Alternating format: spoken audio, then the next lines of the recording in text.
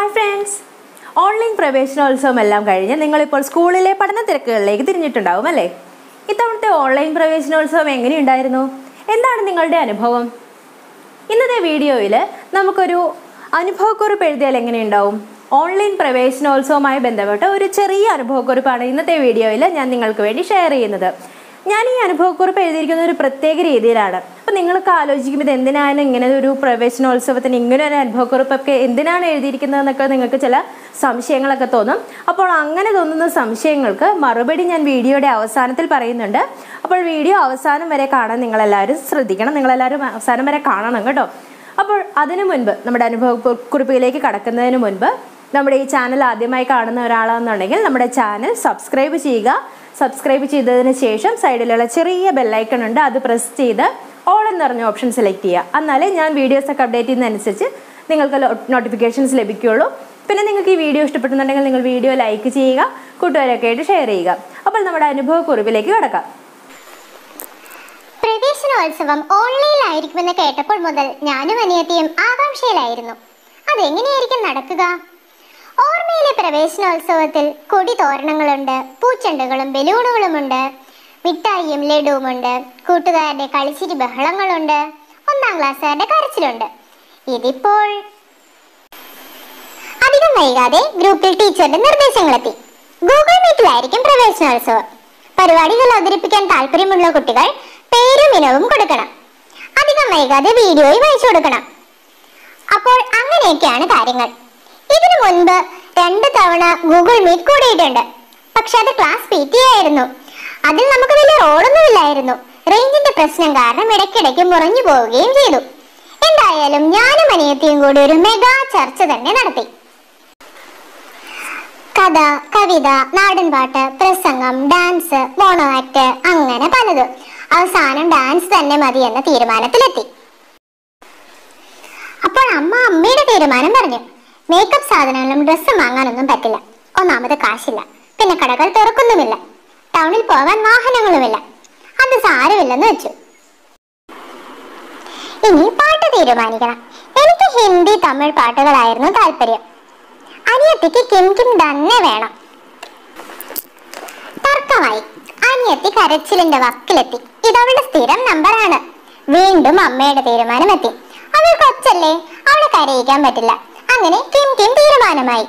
അമ്മയുടെ പൊന്നുമോൾ അമ്മ കാണാതെ എന്നെ നോക്കി കൊഞ്ഞനം കുത്തി. പിന്നെ പൊലിഞ്ഞ പ്രാക്ടീസ് ആയിരുന്നു. ഒരു വിധത്തിൽ റിഹേഴ്സൽ ഓക്കെ ആയി. ഇനി വീഡിയോ എടുക്കണം. അമ്മ ക്യാമറാമാൻ ക്യാമറ വുമൺ ആണ് കേട്ടോ. ആയി. അങ്ങനെ ഡാൻസ് കഴിഞ്ഞു. ആകാംക്ഷയോടെ ഓടിപ്പോയി വീഡിയോ കണ്ടു. ഒരു രസവും ഇല്ല. മുഖം കാണാൻ വയ്യ. ആകെ ഇരുട്ട് പിടിച്ചതുപോലെ. വെളിച്ചമില്ലാത്തത് കൊണ്ടാണെന്ന് മനസ്സിലായി. അതോടെ ഞങ്ങൾ ഷൂട്ടിംഗ് ലൊക്കേഷൻ മാറ്റി. വീണ്ടും അമ്മ ക്യാമറാമാനായി ഇത്തവണ മുഖത്ത് വെളിച്ചമുണ്ട്. വീഡിയോ ക്ലിയർ ആണ്. പക്ഷെ എന്തോ ഒരു മിസ്റ്റേക്ക് ഇത്രയുമായപ്പോൾ അടുത്ത വീട്ടിലെ പ്ലസ് ടു ചേച്ചി സഹായത്തിനെത്തി. ചേച്ചി പറഞ്ഞു ക്യാമറ അനങ്ങുന്നതാണ് പ്രശ്നം. അതൊരു സ്റ്റാൻഡിൽ വെക്കണം. മാത്രമല്ല മൊബൈൽ കുത്തനെ പിടിച്ച് വീഡിയോ എടുത്താൽ പറ്റില്ല. ഫുൾ സ്ക്രീനിൽ കിട്ടില്ല. അതിന് വീഡിയോ വിലങ്ങനെ വെച്ച് വേണമെടുക്കാൻ. അമ്മ പറഞ്ഞു എനിക്ക് വീട്ടിൽ വേറെ പണിയുണ്ട്. നിങ്ങൾ എന്തെങ്കിലുമൊക്കെ ചെയ്യ. അതോടെ പ്ലസ് ടു ചേച്ചി ചുമതല ഏറ്റെടുത്തു. അങ്ങനെ വീഡിയോ ഓക്കെ ആയി. ടീച്ചർക്ക് അയച്ചു കൊടുത്തു. ടീച്ചർ രണ്ടു മൂന്ന് ലൈക്കും സൂപ്പർ സ്റ്റിക്കറും ഒക്കെ മറുപടി അയച്ചു. അതോടെ സമാധാനമായി. പ്രവേശനോത്സവത്തിൽ ഞങ്ങളുടെ പരിപാടിയും ഉൾപ്പെടുത്തുമെന്ന് ഉറപ്പായി. പിന്നെ അതിനുള്ള കാത്തിരിപ്പായിരുന്നു.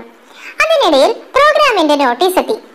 ഇലക്ഷൻ കാലത്ത് എന്ത് വെർച്വൽ അനൗൺസ്മെന്റ് വാഹനത്തെ ഓർമ്മിപ്പിക്കുന്ന ഒരു വാഹനത്തിൽ നോട്ടീസും അനൗൺസ്മെന്റും ഞങ്ങൾ ത്രില്ലടിച്ചു എല്ലാവരും സ്റ്റാറ്റസ് ഇട്ടു.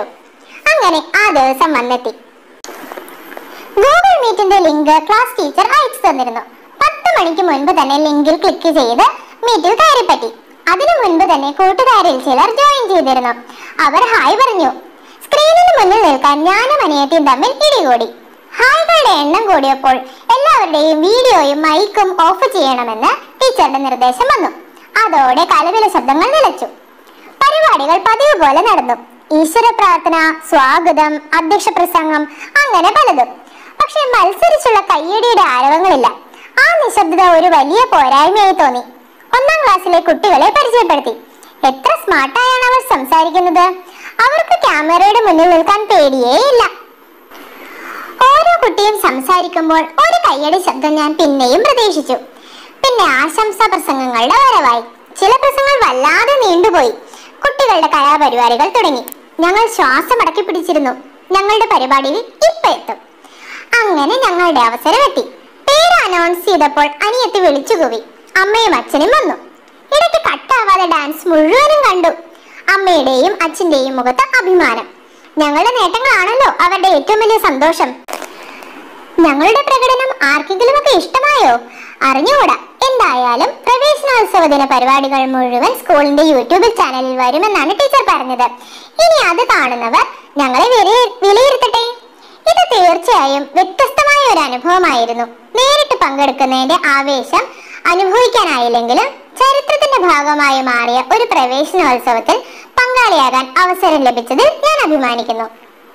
അപ്പോൾ ഞാൻ വീഡിയോയുടെ തുടക്കത്തിൽ പറഞ്ഞതുപോലെ നിങ്ങളിൽ ചിലരുടെയെങ്കിലും മനസ്സിൽ തോന്നിയിട്ടുണ്ടാവും.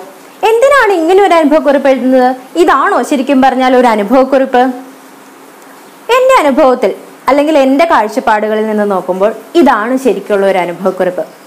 എന്റെ കാഴ്ചപ്പാട് മാത്രമല്ല ഓരോ കുട്ടിയുടെയും കാഴ്ചപ്പാടിൽ നിന്ന് നോക്കിയാലും ഒരു അനുഭവക്കുറിപ്പ് ഇങ്ങനെയായിരിക്കും വരുന്നത്. ഈ വീഡിയോ ഞാൻ ഒരു കുട്ടിയുടെ കാഴ്ചപ്പാടിൽ നിന്നാണ് എഴുതിയിരിക്കുന്നത്. ഓരോ കുട്ടിയുടെയും കാഴ്ചപ്പാടുകളും അവരുടെ അനുഭവങ്ങളും വ്യത്യസ്തമായിരിക്കും അല്ലെ?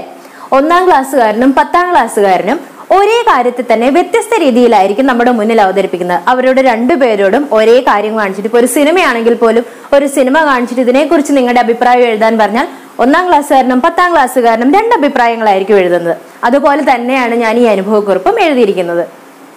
പ്രവേശനോത്സവത്തെക്കുറിച്ച് ഒരു കുറിപ്പ് എഴുതണമെന്ന് പറഞ്ഞാൽ സാധാരണയായി കുട്ടികൾ എല്ലാവരും ചെയ്യുന്നത് എത്ര മണിക്ക് തുടങ്ങി ആരായിരുന്നു സ്വാഗതം പറഞ്ഞത് ആരായിരുന്നു അധ്യക്ഷ സ്ഥാനം വഹിച്ചത് ആരായിരുന്നു അധ്യക്ഷ പ്രസംഗം പറഞ്ഞത് അല്ലെങ്കിൽ എന്തായിരുന്നു ഇതിലെല്ലാം പറഞ്ഞത് അങ്ങനെയുള്ള കാര്യങ്ങളായിരിക്കും സാധാരണ കുട്ടികൾ എല്ലാവരും ഒരു അനുഭവക്കുറിപ്പ് തയ്യാറാക്കുക എന്ന് പറയുമ്പോൾ ചെയ്യുന്നത്. ഇത് ശരിക്കും ഒരു കുറിപ്പാണോ? ഇത് ശരിക്കും ഒരു റിപ്പോർട്ടിംഗ് ആണല്ലേ അതായത് എത്ര മണിക്ക് തുടങ്ങി എന്താണ് ഏതാണ് എന്നൊക്കെ പറയുന്ന സാധാരണ റിപ്പോർട്ടിലാണ്. സാധാരണ നമ്മൾ വാർത്തയിലും വാർത്താ ചാനലുകളിൽ ന്യൂസ് അവതരിപ്പിക്കുന്നവരും റിപ്പോർട്ടർമാരും ഒക്കെ ചെയ്യുന്നത് കണ്ടിട്ടില്ലേ? അപ്പോൾ അങ്ങനെ ചെയ്തു കഴിയുമ്പോൾ അതൊരു റിപ്പോർട്ടാണ് ആകുന്നത്. ഇങ്ങനെ ഒരു റിപ്പോർട്ട് ആരെഴുതിയാലും ഒരുപോലെ ആയിരിക്കും ഉണ്ടാകുന്നത് ഒരു റിപ്പോർട്ട് എന്ന് പറഞ്ഞാൽ എല്ലാവരും അവതരിപ്പിക്കുന്നതിനും ഏതാണ്ട് ഒരേപോലത്തെ ഒരു ഒരു ഒരു പരിധി ഒരു ശീലങ്ങളായിരിക്കും ഉണ്ടാവുന്നത്. പക്ഷെ അനുഭവക്കുറിപ്പ് എന്ന് പറഞ്ഞാൽ ഓരോരുത്തരുടെ അനുഭവങ്ങൾ വ്യത്യസ്തമാണ്. എന്റെ അനുഭവമായിരിക്കില്ല എന്റെ ഉള്ള ഒരാൾക്കും കൂടെ ഉണ്ടാവുന്നത് അപ്പോൾ ഓരോരുത്തരുടെയും അനുഭവങ്ങൾ വ്യത്യസ്തമാണ്. മറ്റൊരു കാര്യം കൂടി നമ്മൾ ഈ സമയത്ത് ഓർക്കേണ്ടതുണ്ട്. നമ്മളത് മറക്കാൻ പാടില്ല. മറ്റൊരു കാര്യം കൂടി എന്താണെന്ന് വെച്ചാൽ ഈ ഒരു ചെറിയ പരിപാടിക്ക് വേണ്ടി. ഇതൊരു ചെറിയ പരിപാടിയല്ല എങ്കിൽ കൂടി. ഒരു സ്കൂളിനെ സംബന്ധിച്ചിടത്തോളം ഇതൊരു ചെറിയ പരിപാടിയല്ല. എങ്കിലും ഒരു ചെറിയ പരിപാടിക്ക് വേണ്ടി അവരുടെ വീട്ടുകാരും കുട്ടികളും എടുത്ത സ്ട്രെയിൻ നമ്മൾ കാണാതെ പോകരുത്. പലർക്കും ഇതിന്റെ സാങ്കേതിക സൗകര്യങ്ങളും ഉണ്ടാവില്ല അതിന്റെ സാങ്കേതിക വശങ്ങളും അറിയില്ല. എങ്കിലും അവരെല്ലാം ഇത് നമുക്ക് വേണ്ടി ചെയ്തിട്ടുണ്ട്. ഇത്തരത്തിലുള്ള ചെറിയ ചെറിയ പ്രോഗ്രാമുകൾ ഏറ്റെടുത്ത് നടത്തുന്നതിലൂടെ കുട്ടികൾ കൂടുതൽ ശക്തരാകും കൂടുതൽ സ്ട്രോങ് ആകും എന്ന് നമുക്ക് പ്രതീക്ഷിക്കാം. പിന്നെ ഒരു കാര്യം കൂടെ. മികച്ച രീതിയിലുള്ള മികച്ച സാങ്കേതിക സാങ്കേതിക സൗകര്യങ്ങളുള്ള സിനിമകളും ടി വി പ്രോഗ്രാമുകളും എല്ലാം കാണുന്ന നമുക്ക് ഈ കൊച്ചു പ്രോഗ്രാം ഈ കുട്ടികളുടെ ഈ കൊച്ചു പ്രോഗ്രാം അനാകർഷകമായി ഒരിക്കലും തോന്നരുത്. നമുക്ക് ഇത്തരം പ്രോഗ്രാമുകൾ ചെയ്യുന്ന കുട്ടികളെ നമുക്ക് അവരെ പ്രോത്സാഹിപ്പിക്കേണ്ടതുണ്ട് അവരെ കൈപിടിച്ച് ഉയർത്തേണ്ടത് നമ്മുടെ കൂടെ നമ്മുടെ കൂടെ ഒരു നമ്മുടെയും കൂടെ ഒരു എന്താണ് ഉത്തരവാദിത്തമാണ്. അപ്പോൾ ഇതുപോലെയുള്ള മറ്റൊരു വീഡിയോയുമായി അടുത്ത ദിവസം വീണ്ടും കാണാം. ബൈ.